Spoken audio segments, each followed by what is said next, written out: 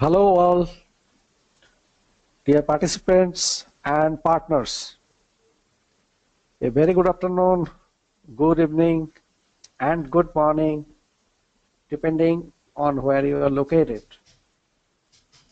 It's great pleasure to welcome you today to our fourth webinar of financial year 16-17 with an interesting topic Earlier, we have hosted webinars on various topics which you can see from the archive of APQI website.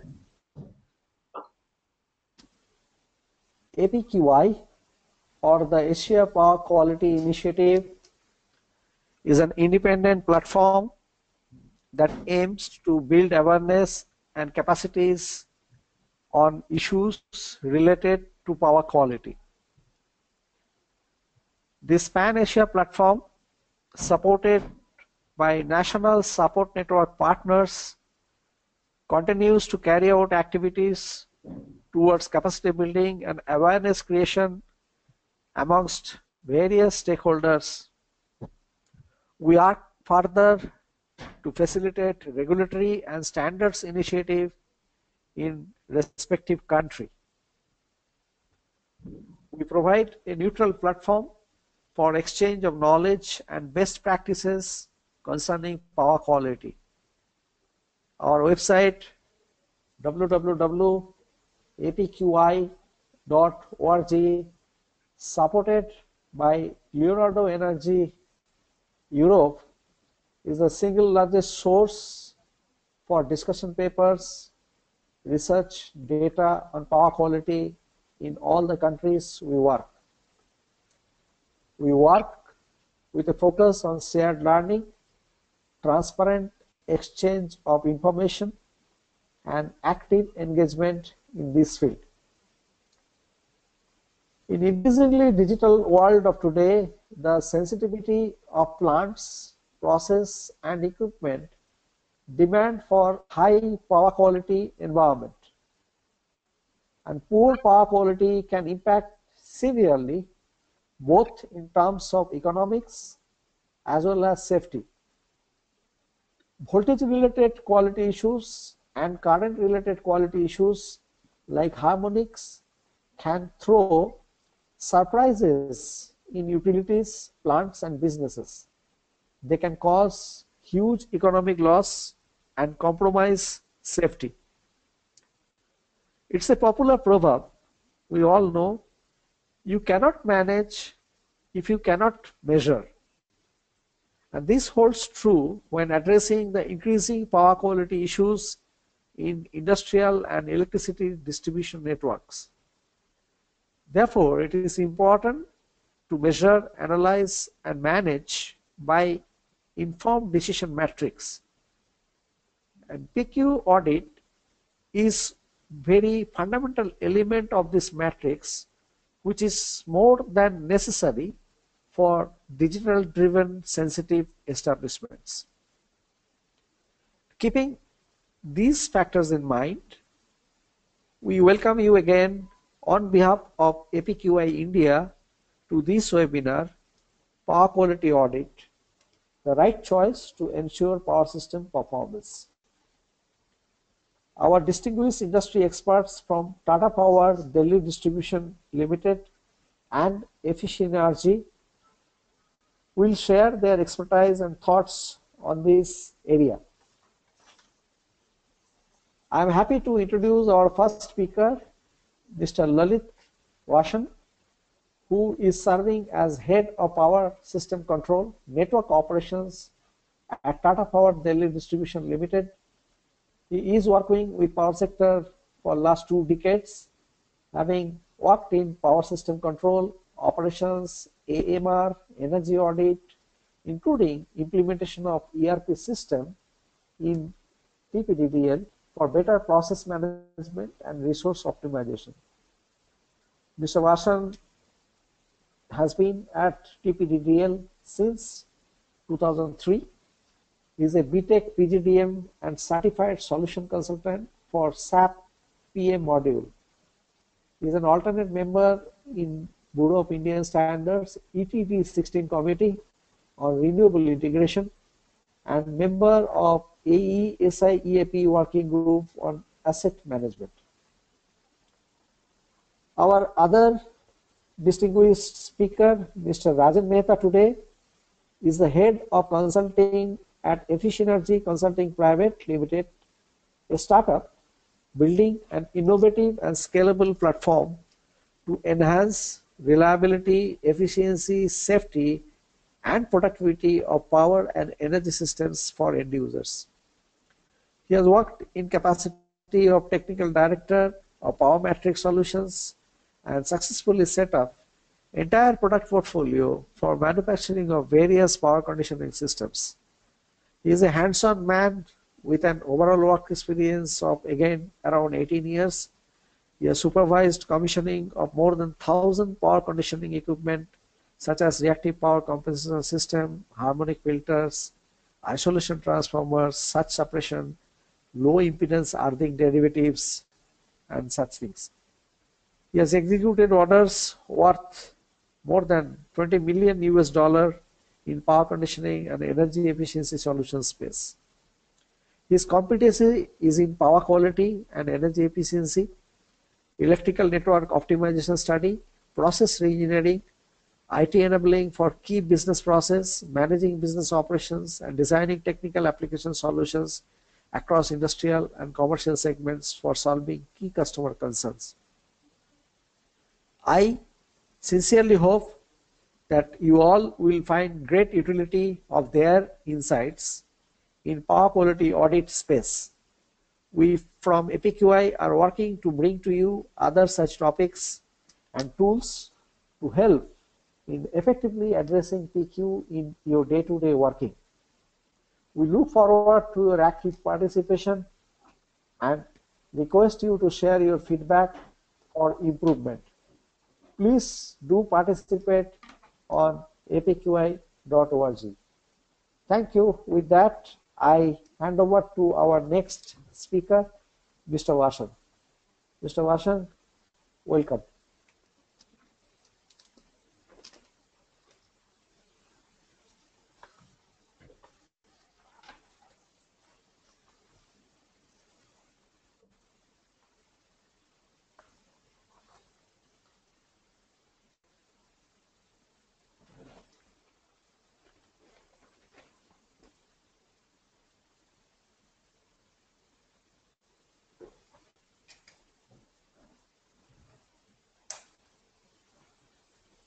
Evening to everyone. Today, as Mr. Manas has explained, the topic is quite interesting, which is power quality audit. Let me introduce myself. I am Lalit Kumar Vasan. I am working as Deputy General Manager in Tata Power Delhi Distribution Limited, and I'm based out in Delhi. Before I formally start the presentation, here is the outline of the presentation. The first point is power quality though most of us know what exactly exactly power quality is but i just thought that in one or two slides i need to touch upon this to refresh the views which we had. The second point is related to the challenges which we all are facing be it a distribution company be it a utility be it a generator be it a customer or be it any other stakeholder. The next and the most important component of power quality is harmonics we all know harmonics is an area where a lot of work is yet to be done in India. Though few companies in the world has worked on it, but still this is an area where we need to catch up. In addition to the harmonics uh, analysis, we are also going to talk about its impact on the DISCOM. Then the next point which I am going to talk about is the future challenges which are related to installation of rooftop solars as you know, government has come up with a very good policy through which they are promoting installation of rooftop solars. With this, with these installations, many issues related to power quality are going to be there. So we need to identify them and we need to address them. In that slide, I am going to talk about that. In the next slide, I am going to talk about one audit which we had done in our company related to power quality. We had installed few equipments at select locations. We identified the observations and then we uh, basically identified the areas where we need to work upon. I am going to share that. Last but not the least slide would be on way, way ahead for all of us. In, in that slide, I am going to talk about what exactly is expected from all of us and how we can move ahead in the uh, longer run.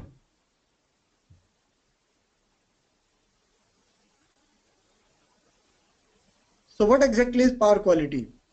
There are many definitions related to power quality, but I believe the uh, definition which fits here is the definition of IEEE.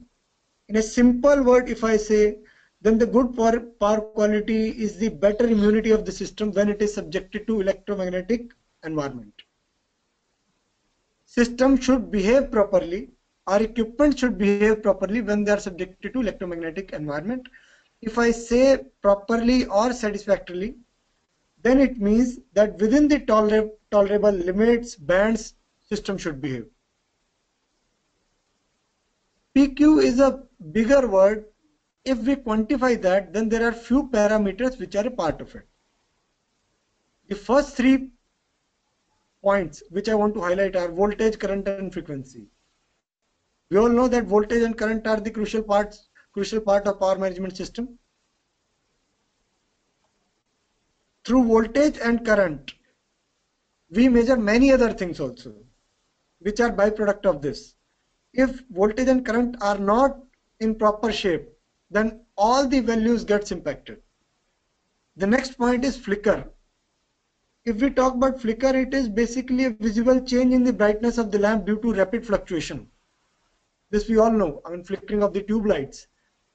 It's a byproduct of uh, the deviation in the power quality standards. The next point is harmonics. I'm going to uh, talk about it a bit later in detail. The next point is short interruptions. Short interruptions may be sags or swells. And uh, the final one is transients. Transients are getting generated into the system due to various switching operations which are happening. Those switching operations may be intentional or may be due to trippings, but uh, it is getting some disturbance into our waveform. So if you look at the uh, this picture in the right hand side, if voltage and current are linear, then picture is different. But if they are non-linear, then it is going to create an impact on the power quality.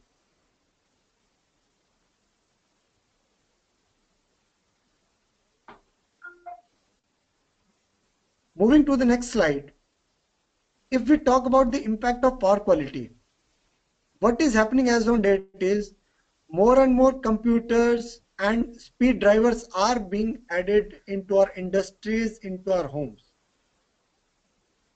The irony with this system is more and more you look at the economic benefits with respect to power system it is going to have an inversely proportional impact on the power quality.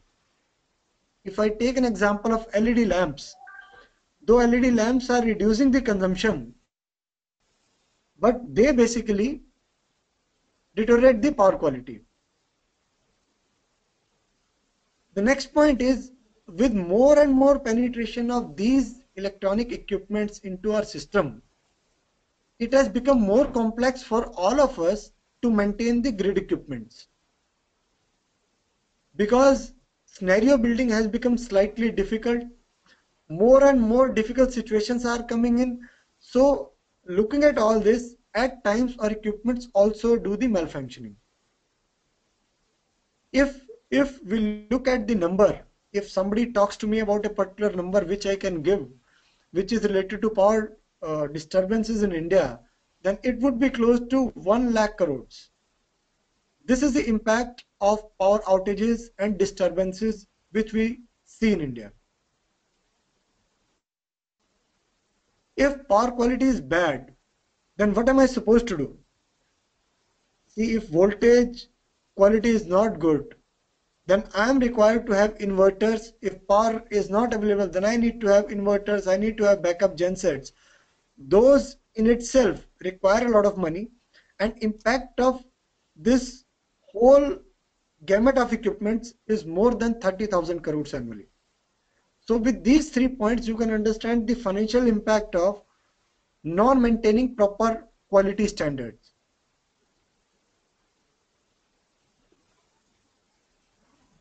Moving ahead with the challenges which we face as on date, with more and more involvement of electronic equipments into our industry, we are becoming more and more prone to PQ problems. Let's take an example of first quadrant or the first point which I'm going to talk about that is related to electronic devices. More and more semiconductors are going to be utilized now be it your mobile phone, be it computer, be it your UPS, all these semiconductors are having non-linear relationship. So with this non-linear relationship, the PQ problems are going to get exaggerated. The second point is the generation load equipments which are being subjected in our industry. One is microprocessor, then all the power electronic devices, CNC machines which are improving the manpower efficiency. Few of the uh, human activities are being automated, but with this automation, PQ problems are going to get added. The impact of this is at times my relays are also doing maloperation. If we talk about a distribution utility or its customer, then in all the computers we are using SMPS, which is switched mode power supply the frequency of SMPS is in thousands. So the chances of creating more and more transients through these SMPS uh, is more. We are adding all sort of electronic devices and when we are uh, doing interconnection of our network with the transmission utility, then we install various type of relays, various type of metering instruments. They also add to the BOOs.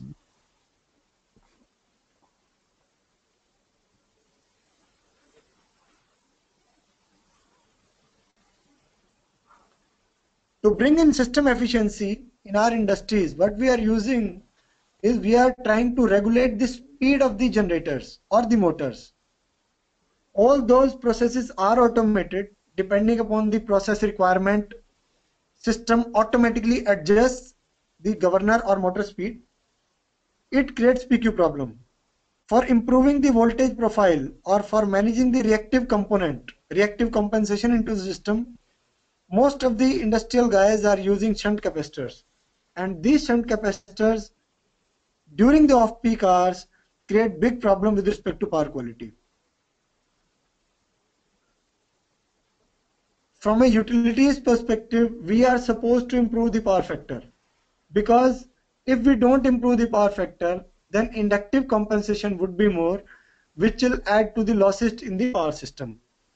For improvement in that, most of the utilities are now installing automatic power factor corrections, uh, correcting equipments. They are being installed at various locations, be it our grids, be it our LT substations, be it uh, next to the transformers.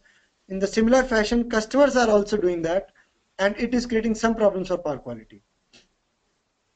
For restoration of supply, what are we supposed to do? We need to basically uh, restore the network fast. For that, we have installed reclosing circuit breakers at various locations.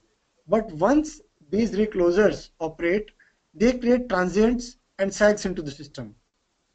And if, let's take an example of any system interruption which has come. If you may recall, roughly three years back, there was a blackout on 30th May in Delhi.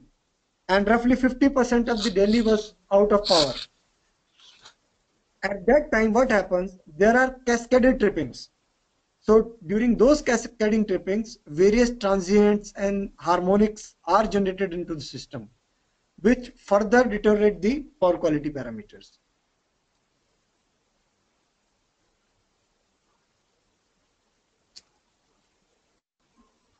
Precisely talking about the perspective of a DISCOM if I say then the biggest impact of power quality is on premature failure of my distribution transformers.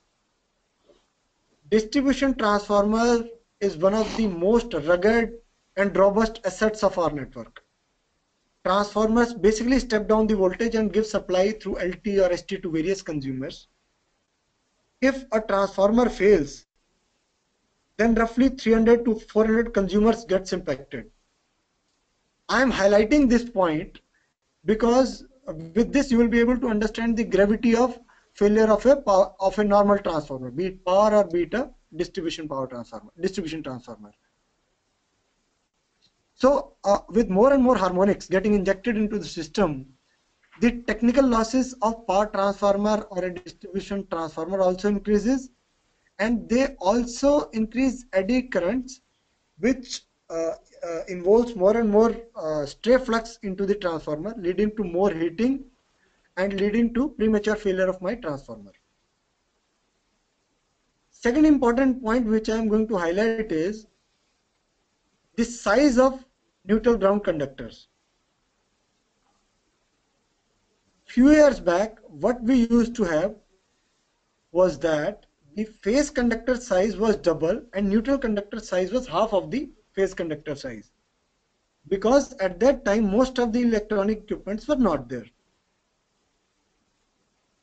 So as we installed more and more electronic equipments, we decided as we found that it is adding to more and more harmonics into the system because as per the nature of a single phase harmonic, they basically get added into the neutral current instead of getting squared off.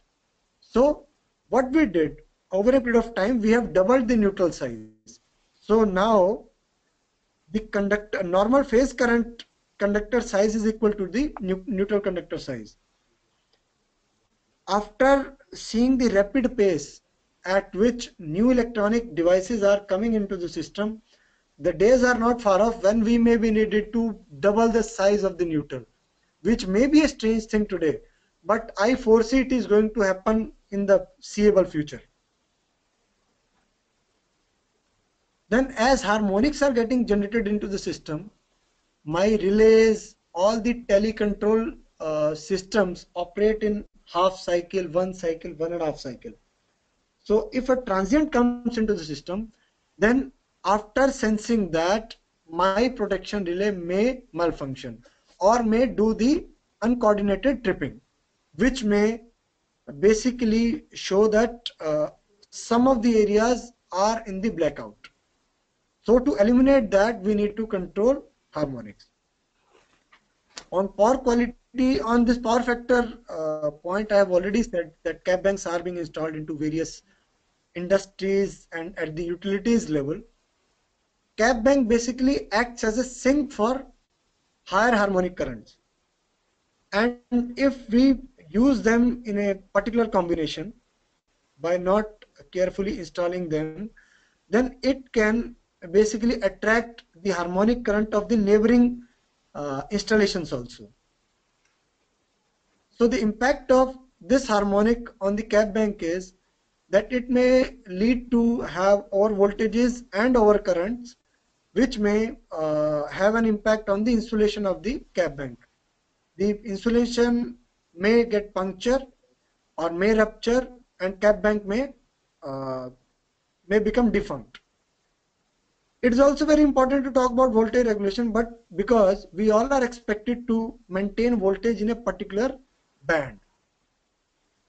If we talk about a particular LT feeder, we need to install cap bank because we need to give particular voltage to the end consumer also. So they are needed, but the associated risks with respect to power quality are also there.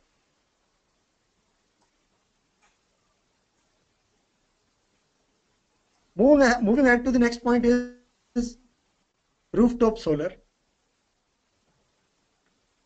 Though we have formulated a policy related to installation of solar power, solar power plants in India, DERC has also come up with guidelines with respect to how many consumers can be uh, given the authorization to install a solar power plant under a distribution transformer, but still there are few looming challenges which we need to see and address. First and foremost point is deterioration into the voltage and current waveform.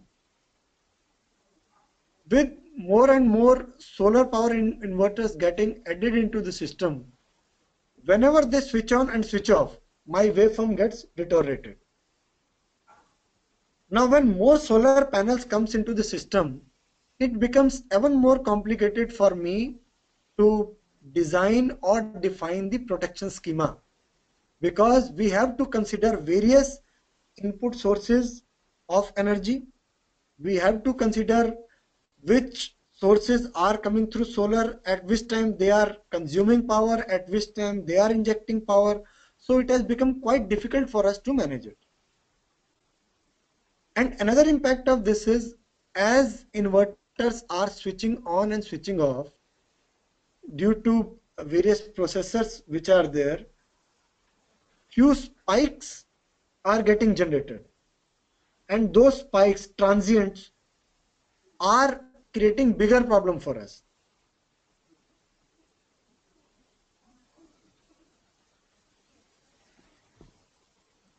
All over the world a debate is going on whether we should use AC system or DC system. One school of thought says that if we use DC supply, then my total transformational efficiency will improve. Roughly 50 to 15 to 20 percent of the improvement will come. The second school of thought says this is not true. There are associated risks because we need to install various additional equipments also because our system has been designed in such a way that AC equipments are available everywhere. We need to have various uh, suppliers, manufacturers, consumer base, and the whole ecosystem is not supportive. So, I mean, we need to have a detailed analysis on this before moving ahead.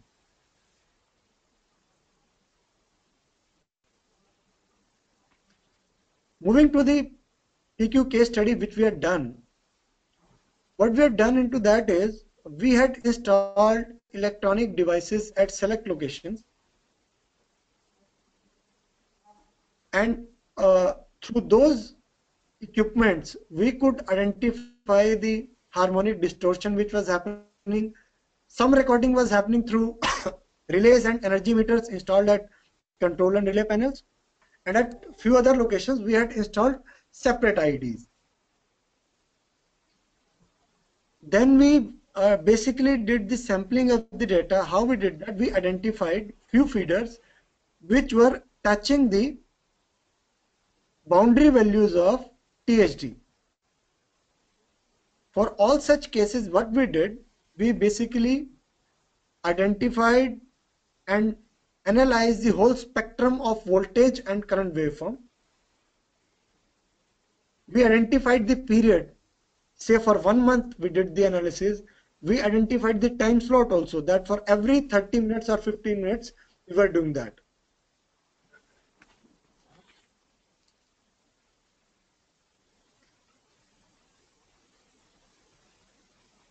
For doing that study,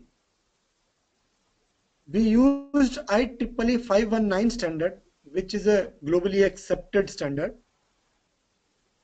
As per that, there are two harmonics limits which has been mentioned, we basically fall into the 20 to 50 band in current. If you may say, I have highlighted that in the blue color.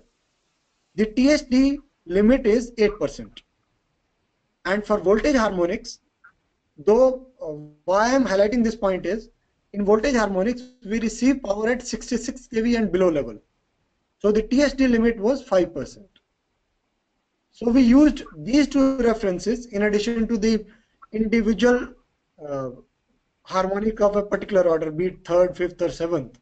We use this to analyze the data and identify the problem areas.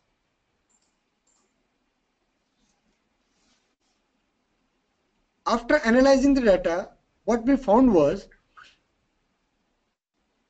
there is a difference between the observations if we look at the data of a single phase network or a three phase network.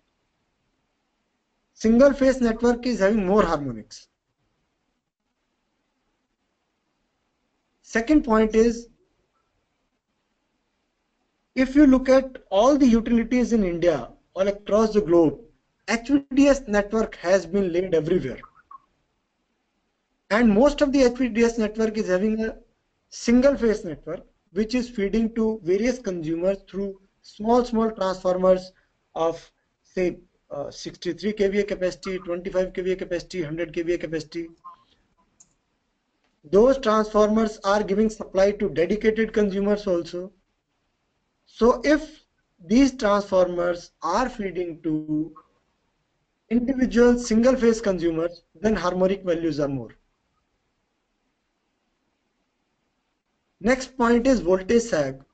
We had installed few equipments at the boundary line points also and we observed that few of the voltage sag issues were getting generated at the level of transmission utility also. The next point is related to our equipments vis-a-vis -vis equipments installed by the consumer. I'll take a specific example of capacitor banks. In select pockets, many consumers have installed capacitor banks which are not uh, automatic by nature, which are of fixed capacity. So during the off-peak time or night hours, when there is no load, during that period, because cap banks are on, and the whole feeder is less loaded or underloaded, the voltage goes up due to these cap banks. So we need to consider these points before formulating the future policies. Additionally, at select pockets, we have identified that there is unbalancing of the load also in a traditional three-phase network and in uh, few power transformers also. Though in power transformers that is very very less, that is there. If I talk about unbalancing, then I talk about then I'm saying that if unbalancing is more than 2%, then I'm talking I'm going to talk about that. Next point is transients. In our organization, we do many switching operations for outage, for taking outage, for doing preventive maintenance of assets, and many interruptions are also due to the faults in the system and during those time transients are getting generated which are getting recorded into the equipments as a PQ issue.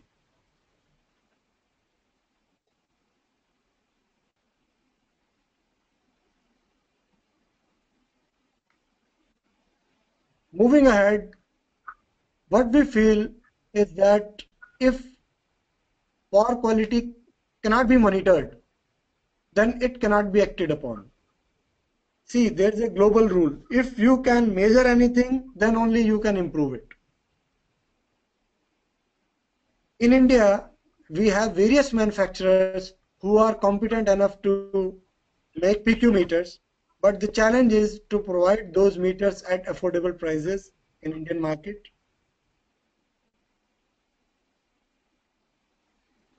The next point is we all are supposed to have customer incentivization policies so that customer is incentivized to install PQ measurement or uh, PQ improvement equipments, built CVTs, APFCs, and associated inductors and all that.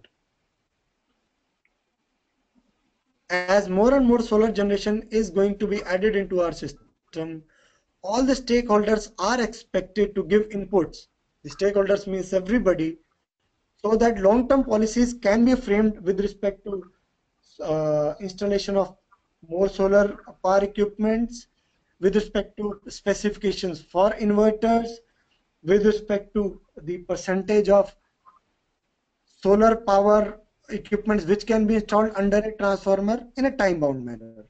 It is very, very important because now people have become sensitized and this is the next next big big thing which is going to happen in India. Then what we feel is better filtering equipments are needed which are affordable in nature and customers can procure them and can install them for improving the power quality.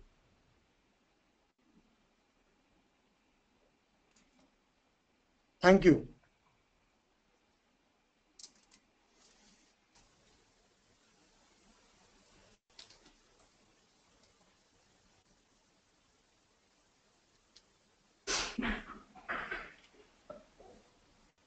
Uh, thank you, Mr. Vasan. Uh, it was uh, indeed uh, revealing on a number of points. Uh, this is Rajan Mehta here, uh, second speaker of the day, and I would like to thank APQI and P Manifold for inviting to speak on this topic of power quality audit.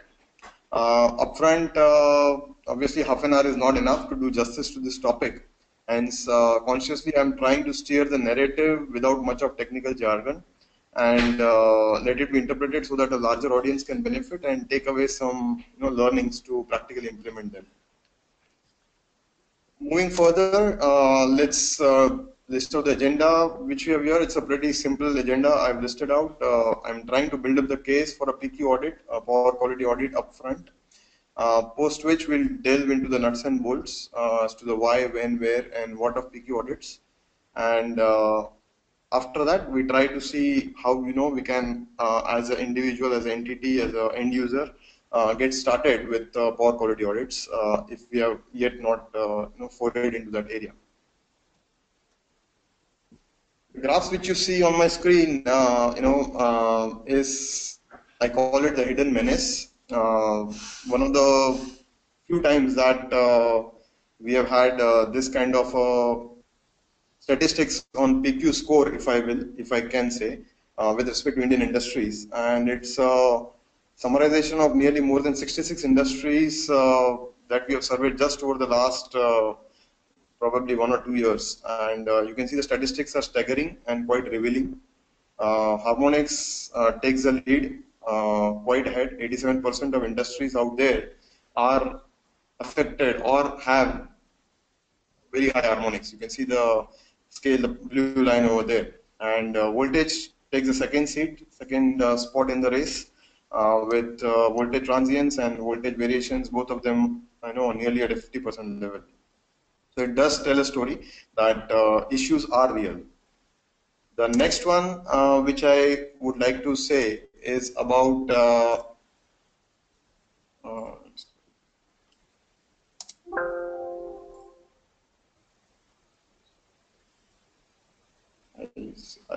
apologies, uh, I may be running into some problem with my screen here.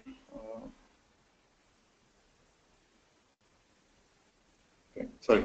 Uh, so we have the next one is a survey on earthing quality, uh, which uh, although a smaller menace, but uh, you know it is something which is also very important considering the impact that it has on sensitive equipments malfunctions.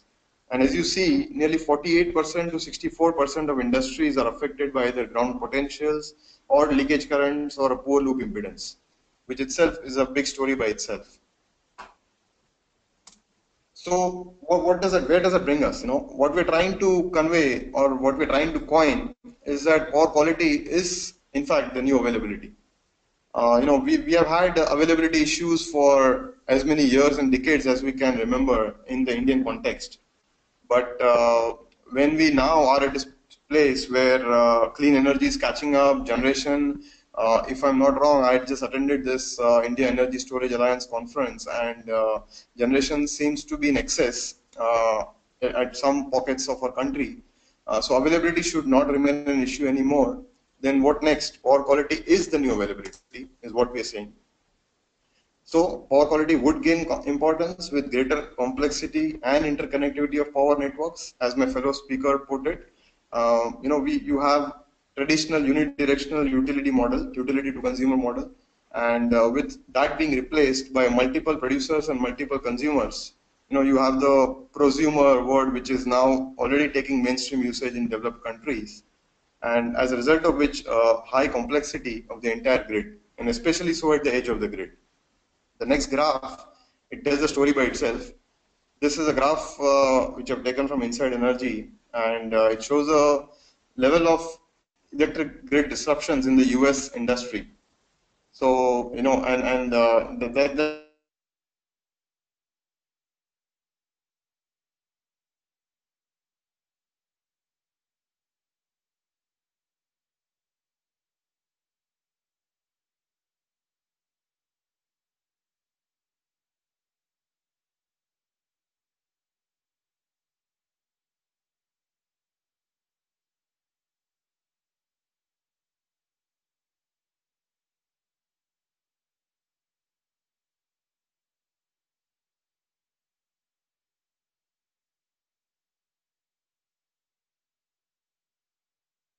that and with the industrial Internet of Things uh, coming to foray, you know, you know uh, Moore's law, the one which uh, Gordon Moore of Intel had invented, that uh, the rate at which your mm, microcircuits are going to evolve is going to uh, miniaturize or uh, reduce every two years. That law, even after 50 years, still holds good.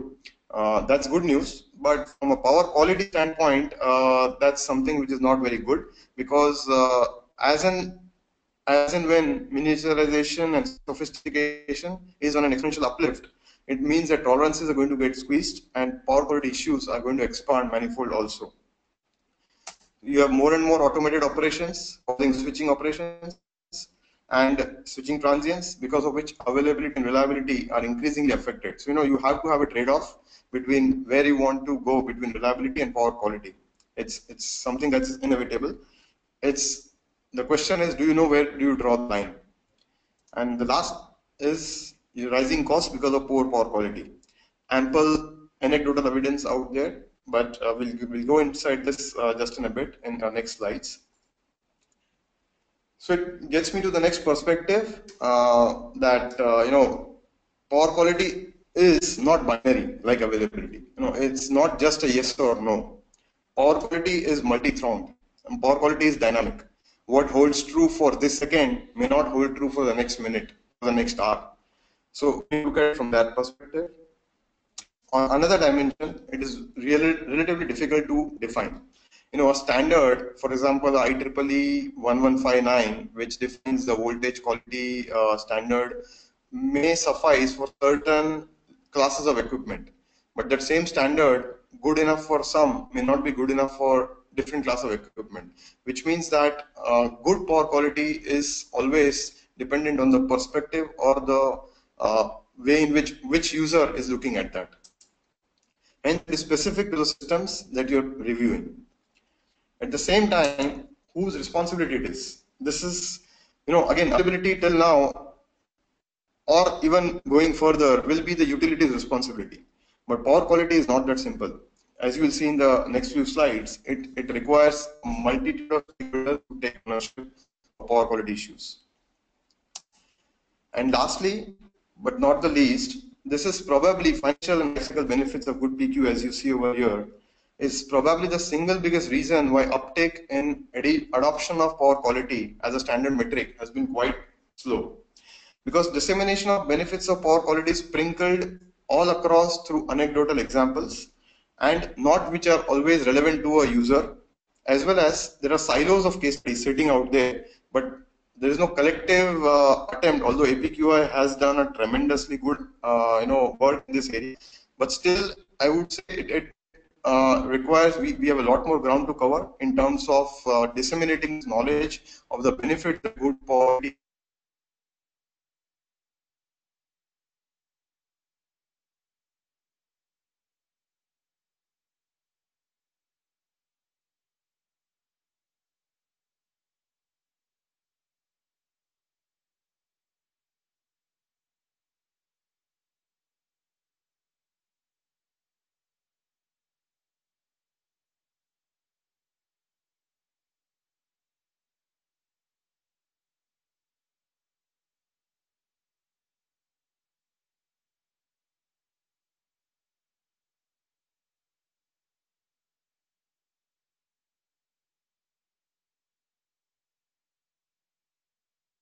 purchase of finance remove that uh, line of quality audit now is a situation where is runs the risk getting redundant. So you know why it wasn't taken care of in the first place, and all blame game will start. And you already the maintenance fund back to projects that are retrofit. You know the entire project is in jeopardy. So this is something that uh, you know is, is something we, that we see or just being, and we are see much much uh, because unless we learn from the lessons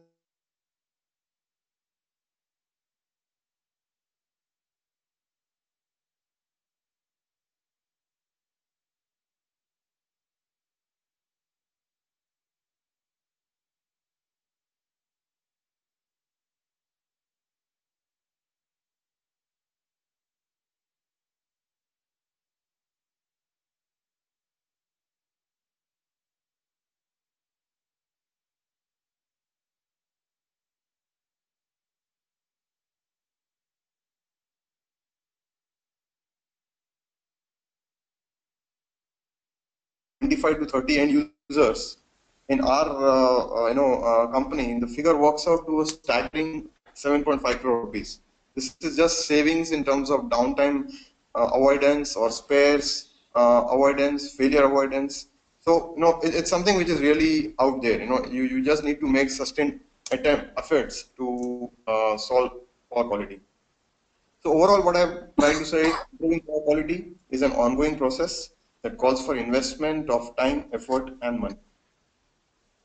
So moving forward to the next slide, we have now identified the need. Okay, we have clearly identified power quality is real, but there do exist challenges at different levels. First and foremost, there is a limited end user awareness, like uh, Mr. Vasan pointed out. Uh, you know, we, we I, I remember writing a blog uh, a year ago, a couple of years ago, and the landscape, if I go back and read that blog even today, the landscape of power quality in India is still at its nascent stage. Secondly, lenient enforcement of standards. You know, as you see out here, standards uh, are something which are very beautifully presented in uh, nice presentations. But when it comes to actual usage of the standards in the field or for reporting or analysis, we are falling woefully short of that. At the same time, what makes it more complex is uh, not linear cause-effect correlations. So if you give, if I want to give you an example, uh, you know, we have a case of say a parallel runs. This is a real case which we had come across uh, very recently. Uh, you have parallel runs, uh, multiple parallel runs of single core uh, cables, which are overheating. Okay, and these are newly installed cables. And the first thing which everybody everybody would pounce upon is suspected case of high harmonics but the relation is not so linear. Uh, you know, in reality, it, it, was because of inner loop of circulating currents between those similar phase conductors, and they, they going 180 degrees out of phase circulation, and thus overloading one phase, one core in one phase versus the same phase, but the other core which is getting underloaded. So if you, if I explain it, and, and when you take the sum total of all those uh, cores put together for a single phase, the current seems normal, but when you individually measure the individual core of that same phase, the currents are highly varying. So you know these these kind of issues need a deeper insight. Uh, you know, you, or you would lose uh, a lot of uh, downtime, a lot of time in troubleshooting uh, your issues, and, and, at the same time uh, delays in your project commissioning. So that's a, where the last point is. There's a big lack of PQ monitoring framework, if I can uh, talk about it and the goals, you know, which a power quality audit should actually have. So that, that's what uh, is is, some of the challenges uh, which I would wanted to enumerate. And next is something which I want to highlight is want to bust certain myths, okay, with respect to power quality. Um, for too long, we have had too many myths out there, and uh, I list some of them for you.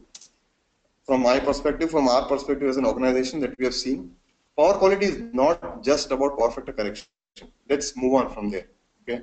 Uh, thankfully, with the you know advent of incentives and penalties, uh, at least awareness on power factor, I would say, is quite uh, mature at this stage. But at the same time, the next myth which I want to say is about harmonics.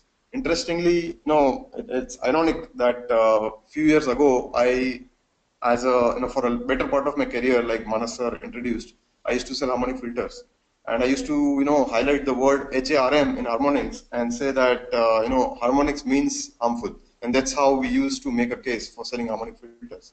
But, uh, you know, time progresses, you become more mature, you realize uh, you have these case studies, so many of them uh, in your uh, repository, and you understand that's not the case. Harmonics are not always harmful. So you need to look at that with a pinch of salt if an overzealous vendor is trying to approach you and tell you that a UPS, SVR, or a harmonic filter is going to be the solution, the all-in-one solution for all your power quality issues.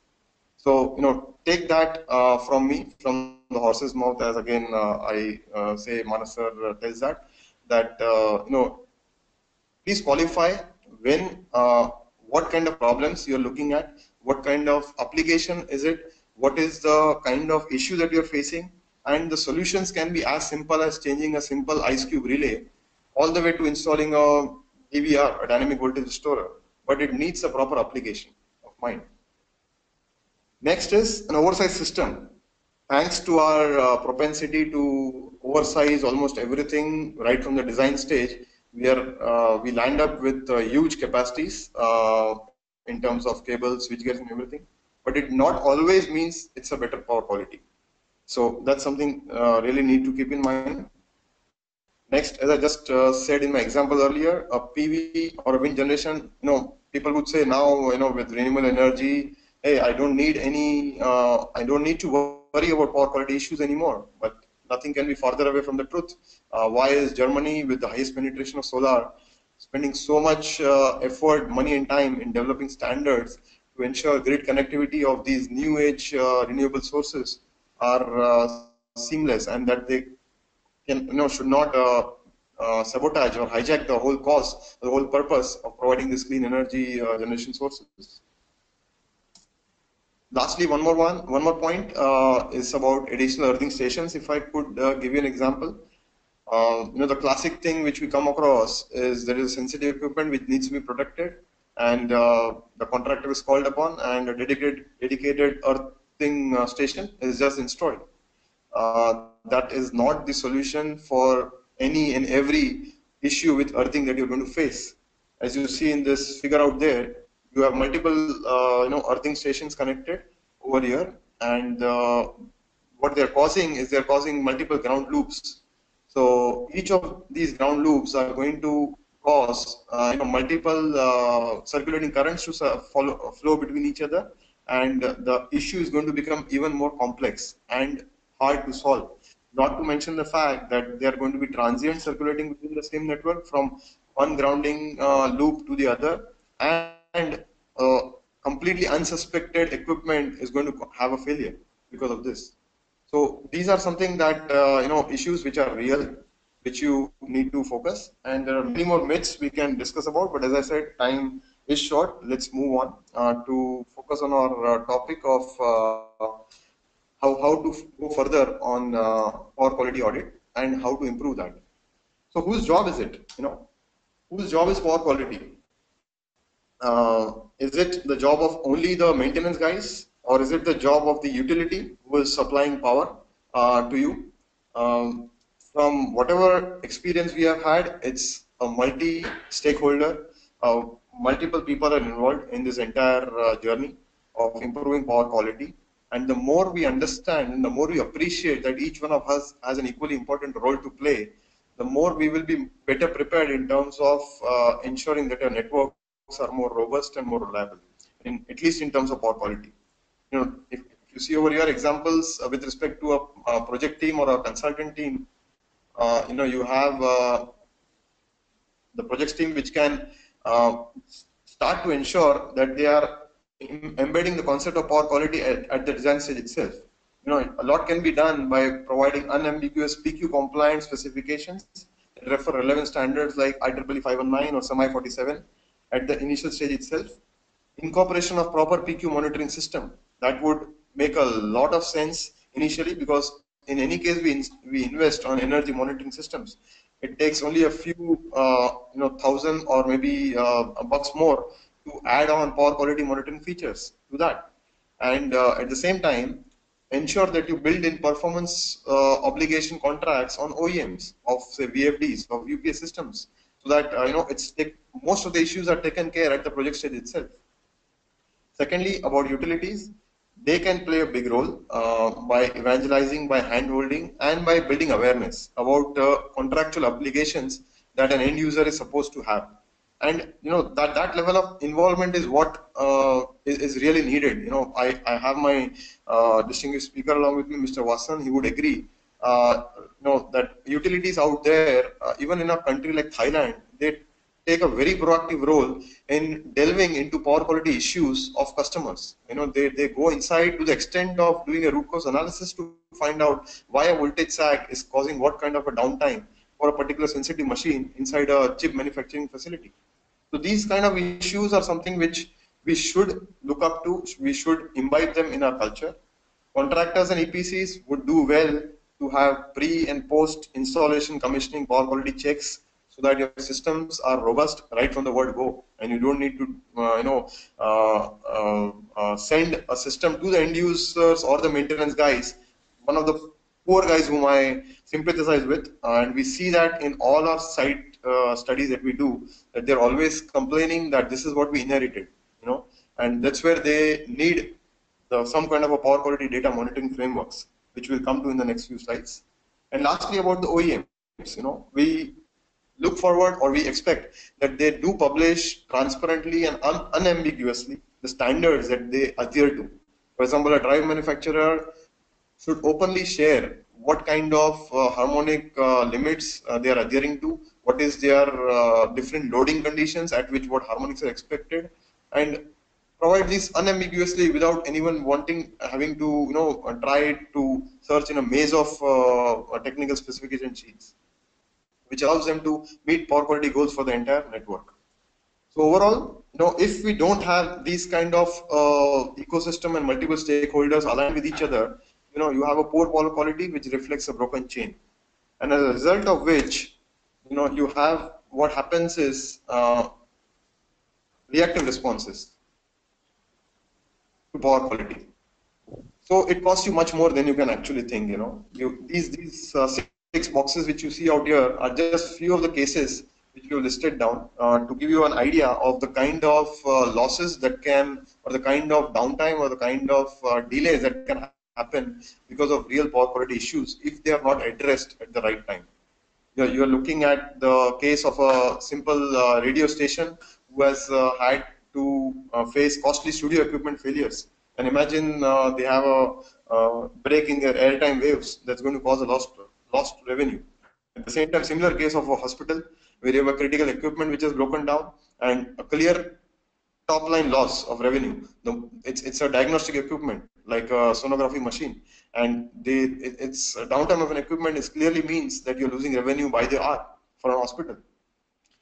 A highly advanced audiovisual facility had faced a delay of two to three months in launching of that facility just because certain power quality issues were not were, were very very niche and they were very complex to identify at the initial stage.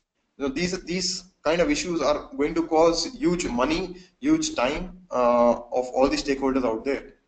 At a paint manufacturer, there was a high concentration of VFDs, and all of that was causing a number of breakdowns in motors, in lighting circuits, and in, in this case, for example, you can see elevator malfunctioning at hospitality chain.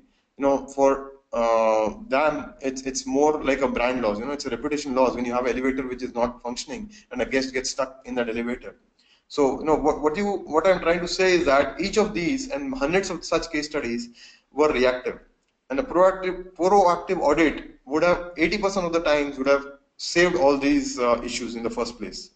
So you know, it, but that, that's something which we are trying to now uh, identify with this uh, framework that I'm trying to present you in the next few slides. Let's see how to take this forward. That's why I'm saying getting the best from a PQ audit. Why a PQ audit? When to conduct it? Where to focus? And what to expect from a PQ audit. That's that's what what we'll delve into more deeper. So let's talk about why. You know, a uh, few thoughts on that. Although I've already touched upon a few of them, I'll quickly, you know, this is a laundry list which you can identify very easily, uh, depending on what industry you're in, what stage of life cycle of your project you are in. It can either be a compliance requirement by the grid owner, like a harmonic uh, study which is mandated by uh, you know, few utilities like MSEDCL, where you need to ensure compliance to what is your current harmonic limits. Or for example, integrated system testing, where you need to test your entire system and understand what is the situation with respect to your entire power quality. It may be with respect to contractual obligation, or it can be performance monitoring and verification of installed systems. It can also be for justifying capex proposals, like uh, you want to justify what was the benefit of installing a harmonic filter uh, and uh, pre and post, so that you can demonstrate the benefits that you accrued out of harmonic filter installation or maybe a surge protective device that you had installed. What about root cause failure analysis? You know, you have a lot of failures which are happening and you're not able to identify troubleshoot. You need to go deeper. You need to find out what's happening. That's where power quality audit becomes more important. And some benchmarking studies at the grid level, like Mr. Vasan was again pointing out. Uh, you know, installing uh, permanent monitoring systems, uh, different type of power monitors out there, and trying to see whether you know it can actually term give certain referenceable standards which can be used further. And one different kind of requirement which I thought I should mention out here is kind of you know fixing the blame audit. Unfortunately, these kind of audits are also part of the why which I've seen, uh, which we have seen, which expect preconceived uh, you know outcomes. Uh, unfortunately, so I would say. You know, it, it's look at the case. Probably you have a builder and uh, uh, you know a customer, uh, end user who is a tenant, and the builder is saying that the problems because of power quality are because of the tenant, and the tenant is saying that it's the builder's problem and uh, the builder hires third party agency to ensure that the audit's outcome is supporting the builder's uh, notions of poor power quality, whereas the tenant does likewise. So, you know, these kind of situations we have experienced, we have faced it. Uh, what we have seen is it requires a completely unbiased approach. It requires a collaborative rather than a combative approach to solve issues, and they have to be solved together. I, I hope I'm not, uh, you know, uh, please my, accept my apologies for making it very brass tack and crude, but but I think we cannot be meek anymore. I know we really need to uh, be upfront about what what should be done if we need to move towards a quality improved uh, scenario for our country. So I, I also present this perspective. Uh, it's, it's more like an insurance, you know, rather than a solution. Let's look at power quality audit as an insurance. Uh, although 80% of the cases which I referred to earlier, they are all more of solutions. They have been done post the, the damage has occurred. But can't you, uh, you know, uh, do it as an insurance? Like for example, the BFSI, that's a banking finance uh, sector, it tends to lead the pack in terms of proactive auditing because there's a strong correlation of these costs of power quality if they occur to downtime and thus to their top line. But ironically enough, these costs are also evident in the other industries where the bottom line is equally hurt very badly. And it's not at visible because they get distributed under multiple heads, you know, under which the cost gets distributed. Again, an example of a pharma company which we had uh, done audit, uh, uh, you know, a couple of years ago comes to mind, which were facing major issues in their packing machines, uh, some HMI failures, hard disk uh, corruptions, and all that. It continued for nearly one to 1.5 years, remember, without any solution since the maintenance team felt it was part of their care to solve the issue and hence the failures were pushed under routine maintenance heads uh, or some expansion projects or maybe some AMC contracts by vendors. Not to mention the countless man hours they spent in troubleshooting.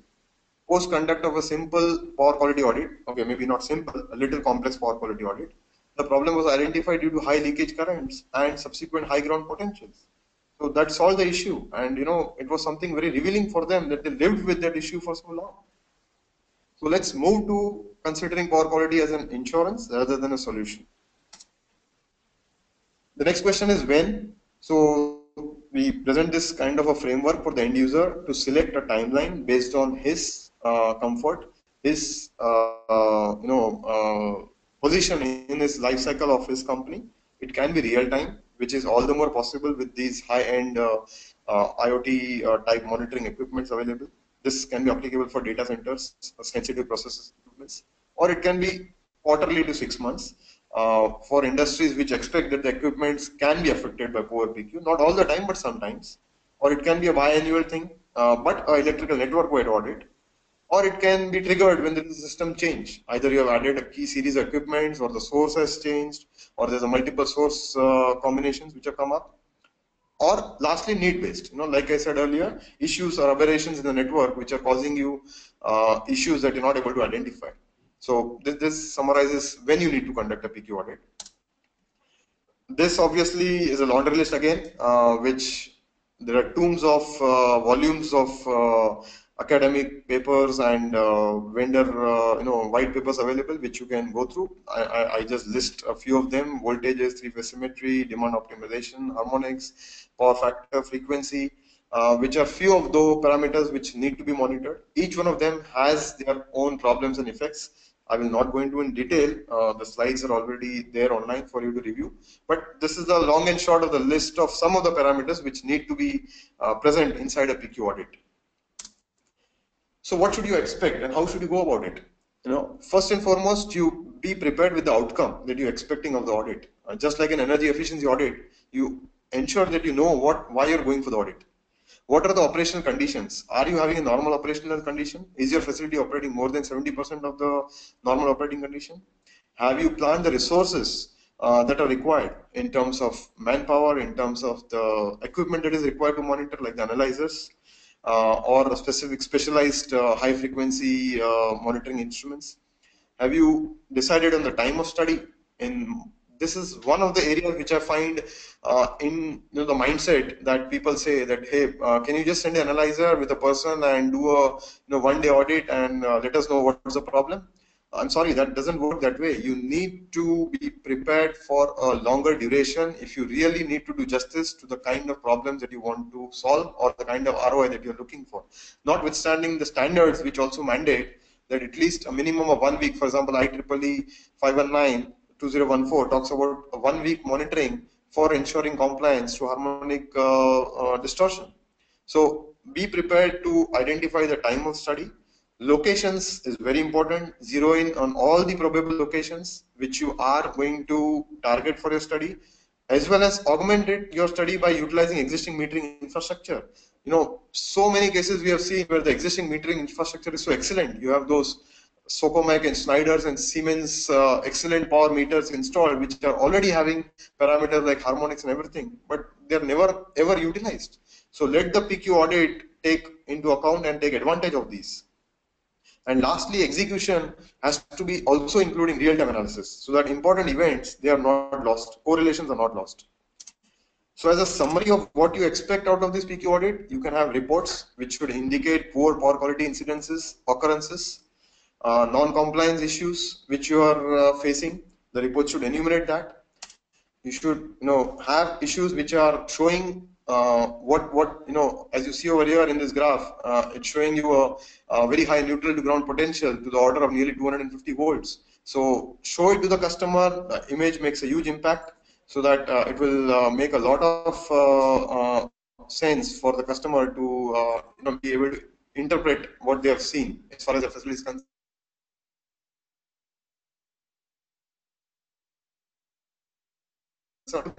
one example again I'm showing here is uh, conducted high frequency interference levels which are recorded on the ground conductor and you see all the way from 60 megahertz till 15 kilohertz you're seeing extremely high conducted interference levels in high frequency uh, noises.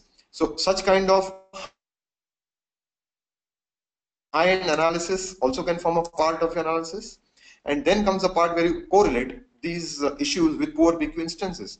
Like for instance, as you see over here, we have compared the elevator failures with high-level power quality events. So you have these red lines showing the number of elevator failures, and you have the blue line showing the high-level power quality events. So you know you can see a clear correlation between the failures in elevators versus the power quality events that have occurred.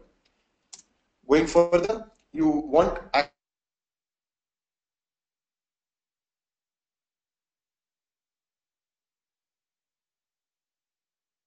actions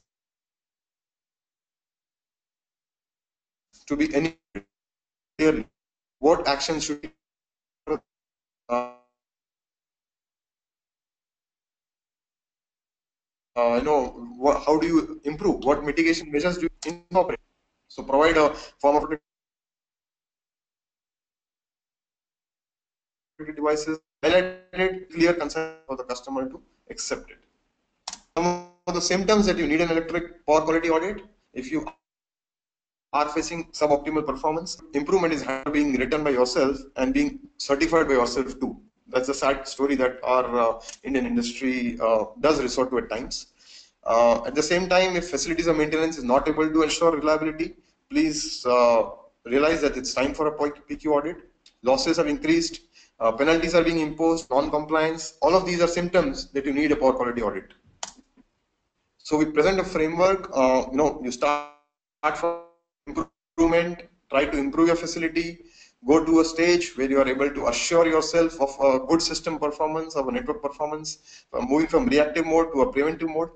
Take advantage of your improvements in power quality, profit from those power quality improvements, significantly enhance the life cycle, and into the future where you make it PQ-centric design, have real-time monitoring and PQ dashboards, which will give you a lot of uh, benefit in terms of uh, predictive maintenance of your equipments. And I would like to leave the audience with this, you know, mini PQ audit, do-it-yourself kind of a checklist. Uh, you know, there, there, are equipments analyzers right now out there which are in the sub $1,000 range, uh, which can do all the things which I've listed down over here you know, as a do-it-yourself kind of a thing. You can analyze the voltage trend patterns. Let it be a single-phase analyzer. Doesn't matter. You don't want uh, Uh, to prepare a, a, complex report like we do, but at least your in-house electrician or in-house uh, technician can do these things of observing the trends in voltage. You can measure the neutral currents at uh, certain points of time. You can understand fluctuations in power factor to understand whether the APFC panels are efficiently working or not. You can at least monitor the harmonics. The job of FFT has been simplified by these uh, you know power quality monitors. So that can be taken care of. And ground potentials, you know, keep on measuring neutral to earth voltages. Are they within uh, limit or not? But obviously, don't take up take our uh, job away uh, on a jovial note. It's not a substitute for a detailed PQ audit, but at least good housekeeping to start off and reap the benefits. I think I would thank you everyone for listening to me uh, very patiently. And uh, if you, I, I would uh, hand over the um, session to uh, uh, Mr. Manas or Mr. Kunjan. And uh, once again, thank you for Uh, having me here to speak on this.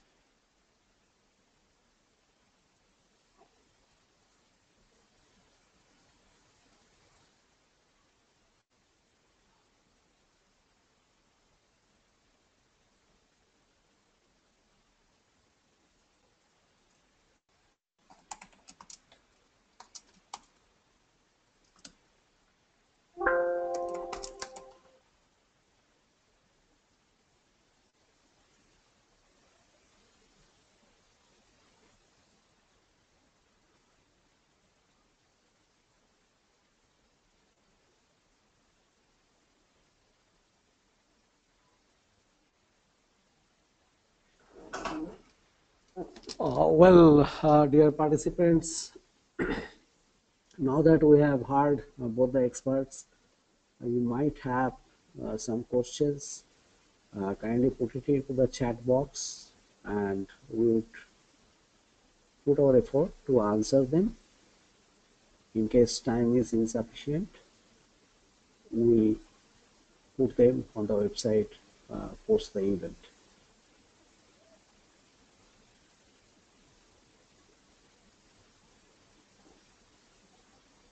Please put your questions into the chat box so that we can address.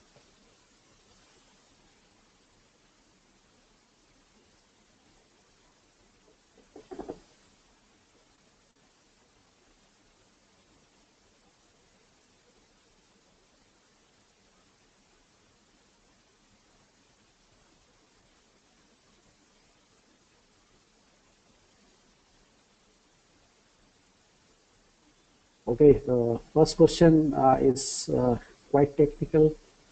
Uh, Rajan, I would like you to uh, see this. Uh, basically, the question is uh, Annex E of IEC 60364 552 prescribe that phase and neutral cables should be upsized based on derating factor due to harmonics. So if you are a designer, you should have taken note. In India, where aluminum cables may be the practice, neutral cables and harmonic current consideration may be bigger consideration. Uh, what is your view?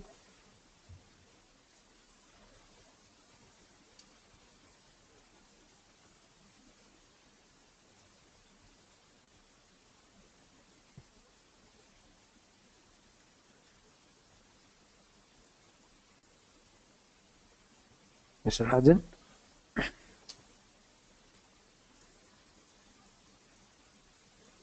Mr. Uh, Rajan? yeah, Manas, yeah, Manas sir, I uh, heard the part that you were talking about uh, upsizing or oversizing the cables due to harmonic considerations. Uh, but what exactly is the question? Okay, I will uh, uh, put that uh, through. Or if you can just paste it in the chat. Uh, that's right. That's what I am trying to do.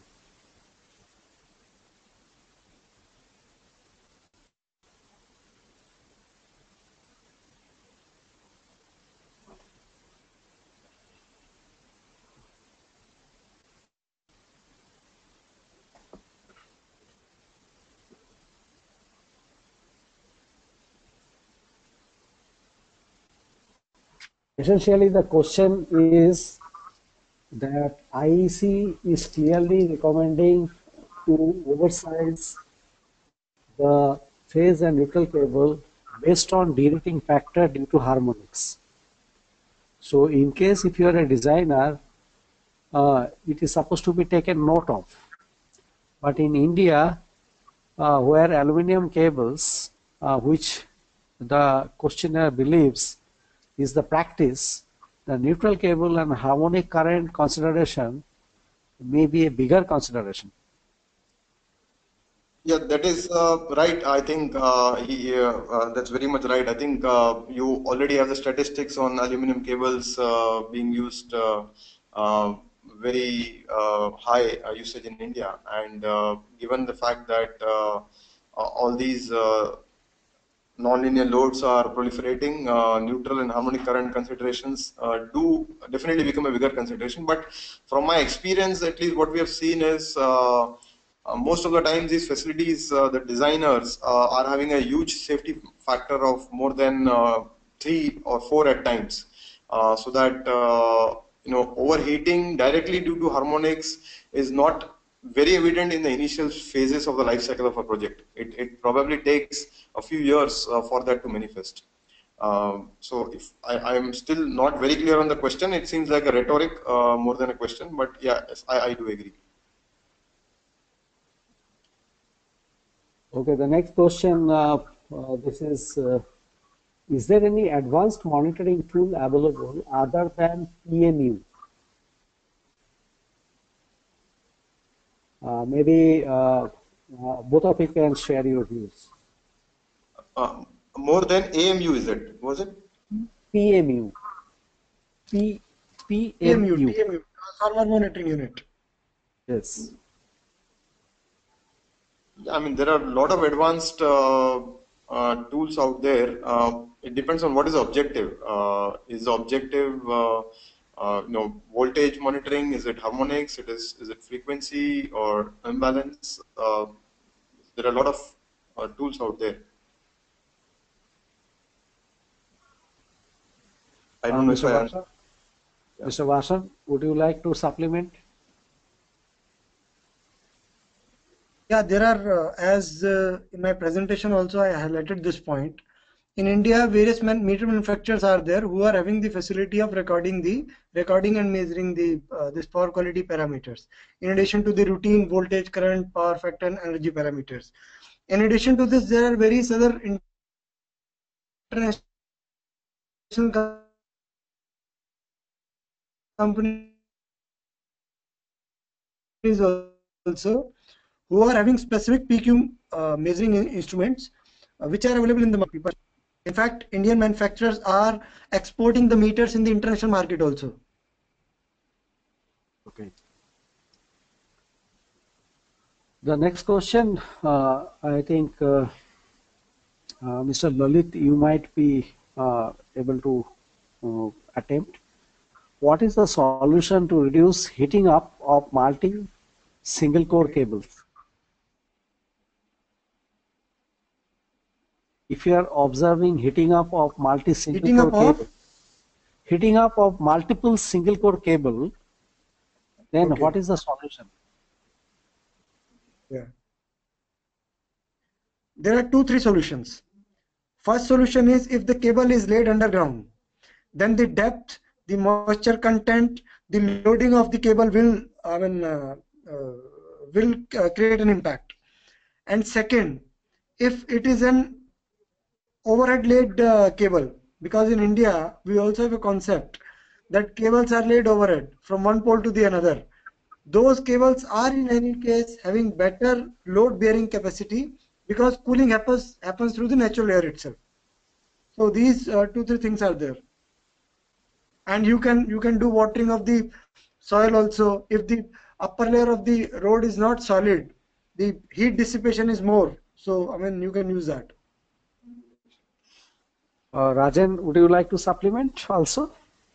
Yeah, I mean, I uh, in fact I gave an example, you know, in my presentation where uh, the similar kind of issue. I don't know if, if it's the same one, but uh, what can happen sometimes it depends on the in the way that the cables have been laid. Uh, you know, if, if they are laid next to each other as opposed to a triangulation which is being done, uh, it would uh, work help to cancel out the circulating currents which may not be visible to the non-discerning user and uh, cause heating uh, in one core, uh, whereas other core is having a low current, whereas uh, one core is having a high current. Uh, that is one possible reason. Uh, other obviously harmonics is also suspect, but that has to be looked from a you know all, all of these approaches, like Mr. Vasan said, the laying conditions, the circulating current option, how they have been laid next to each other, the distance between them, harmonics. These are multiple issues, you know, which which should be attacked. Right. Okay, the next question uh, to Mr. Lalit. Uh, what is new standards 2014? I think this question is not very clear. I think uh, uh, the person is basically referring to IEEE 519 uh, 2014. Yeah, The yeah. new standard uh, which has there come. was a revision in 2014 Yes, that has been revised. IEEE 519, which is very popular. Yeah, yeah. Uh, IEEE 519 was revised in 2014, wherein few parameter uh, values were relaxed. Correct. Uh, and the low voltage bandwidth also has been included in that. Yeah, and uh, also they have uh, increased the limit for uh, less than 1 kV to 8% in terms of voltage harmonics. Uh, that is one significant change. Right. Uh, Then uh, another question, uh, typically what are the costs of PQ audit? Uh, how should one arrive at the right cost? Who would like to answer this? Uh, You can answer. Uh, I'll I will answer this. Uh, uh, if you define if you define your problem and if you have observed Mr. Rajan's slide uh, just before ending, uh, he has very clearly stipulated that for what purpose you want to carry out that audit. Uh, is it your life and death situation? If it is your life and death situation, you can understand what kind of rigor of the audit which has to take place. And obviously, that will not be like tong tester based audit, uh, which will which can be conducted at 3,000 rupees. Uh, but so cost of the PQ audit will vary. Having said that, uh, generally, if it's an instrumented audit carried out by an individual professional, not a an institutional professional, then you can be sure that it is somewhere in the range of uh, 30,000 to 40,000 rupees per day. Uh, so for 30,000 rupees to 40,000 rupees per man day uh, to, to conduct a PQ audit and thereafter uh, you can understand how many points, uh, what kind of intensity, what kind of capture of data that will make a, a variation of the cost of PQ audit. I hope uh, that satisfies you. And you can be always uh, coming in touch uh, with uh, the professionals so that you can get your issue sorted out uh, while you float a tender.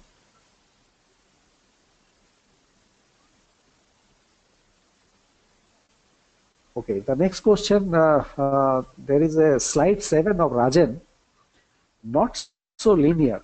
Point yours example is not understood. Can you please explain again? So, uh, slide 7 of Rajan. Uh, yes, sir, I'll just uh, walk through, just try to go there. Yes.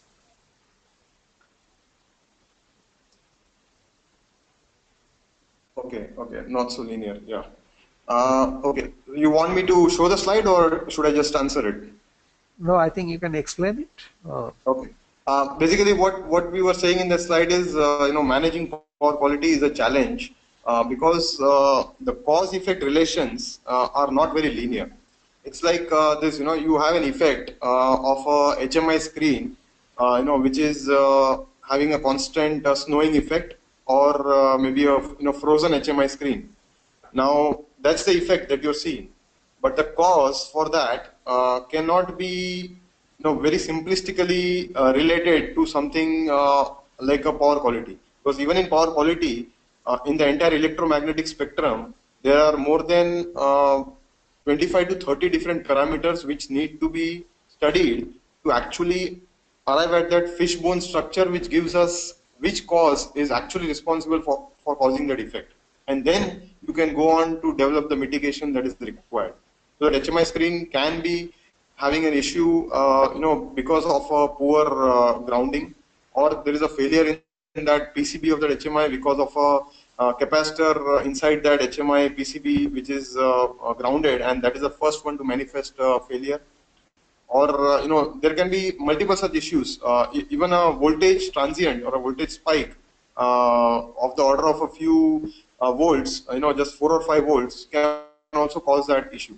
So whether it's a voltage related issue, whether it's a grounding related issue, whether it's a harmonic related issue, or a frequency, or you know, a motley bunch of all of them, the causes are many, but the effect is very visible. So you need to do a proper cause effect analysis to arrive at what is the actual root cause and then go on to provide a proper mitigation uh, so that you know you don't overspend uh, by installing something which is uh, uh you know high in capital uh, cost and uh, you know not not required. You, you can simply do a simple control level solution that can solve the problem. Thank you. The next question is does any standard specify NEV. N for Nagpur, E for energy, V for victory. NEV. Does any standard specify? Okay. Uh, uh, shall I answer? Yes, yes. yes please. Yeah. So uh, there is. NEV is net asset value. Uh, Mr. Vasan is talking about. I mean, if I understand, NEV or NAV? NEV. Yeah, it's neutral to earth voltage if I'm not wrong. Yes, neutral to earth voltage, right. Yeah. So uh, from NEV perspective, right. NEV, yeah, NEV is actually uh, an indirect uh, parameter, if you would say, because it's a, actually a uh, effect of the leakage and the impedance in the system. So the standards, uh, whichever are uh, applicable, they would not a lot of times directly speak on NEV, although there is a thumb rule that uh, it should generally be in the range of 1% of the phase to neutral voltage that you're seeing, because your leakage current that you're expecting, uh, you know, it, it should be uh, very less, and your impedance of your system, say if you consider a 1 ohm impedance and a leakage current of about uh, uh, 300 milliamperes, then you know 3 volts is what comes out. So 300 milliamperes, which is your normal limit of your uh, protective device, and uh, 1 ohm is a nominal impedance that you would expect. So 3 volt uh, limit is what you can uh, generally uh, look at as a thumb rule.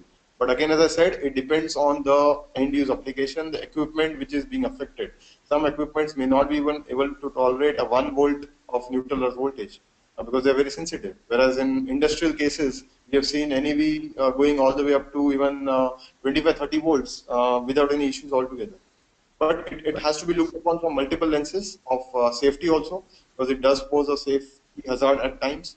Uh, it does pose a risk to the equipment in the long run uh, because if, if NEV is high and, and not only NEV, Because NEV is something which you are measuring uh, instantaneously. What is more important is are there transients uh, whose peaks are you know, almost four to five times the NEV voltage that you are measuring.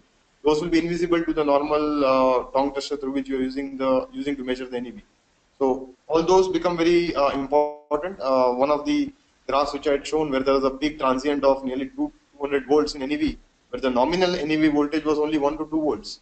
The transient NEV voltage was going up to 200 volts. Uh, so it, it, requires a long-term monitoring if you suspect that as a case. Okay, thank you. And the next question is, is it necessary that individual earth electrodes should offer less than 1 ohm? I think uh, the last reply what you gave, uh, uh that says already uh, that uh, the voltage can vary from the recommended standard to anything depending on the situation. So if you want to just further explain for the sake of time, please um, yeah, I think it's not necessary. It again depends on the application to application. Uh, you know, substation earthing electrode uh, versus a sensitive uh, machine uh, earthing uh, impedance, they both would have different requirements. So it, it is not uh, definitely necessary to have it always less than 1 ohm. But as I said, it has to be looked in totality. Okay, the last question we take it for this session is where shall we measure earth loop impedance?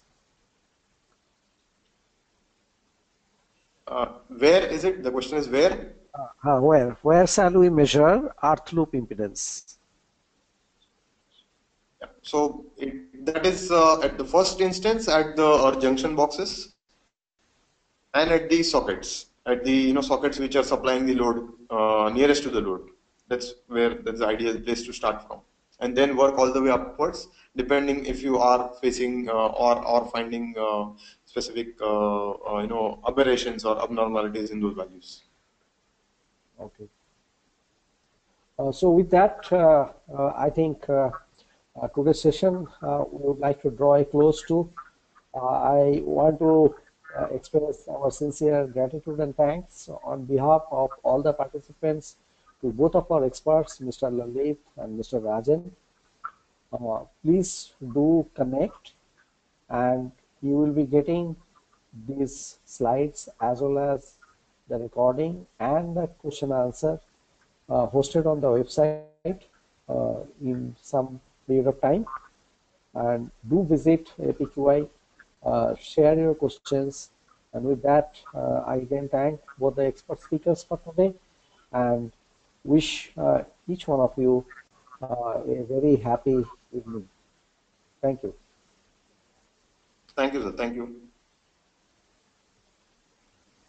Thank you, Mr. Kunjan. Thank you. Thank you, everyone.